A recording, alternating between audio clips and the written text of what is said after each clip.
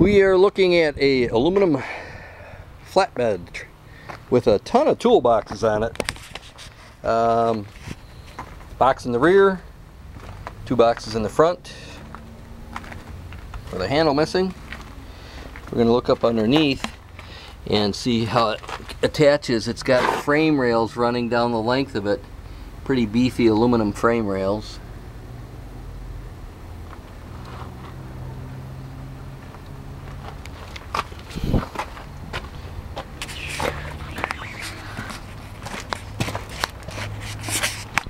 And then it's got a wood deck.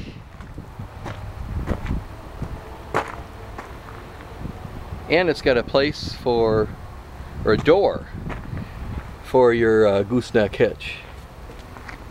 And then same toolbox setup as on this side.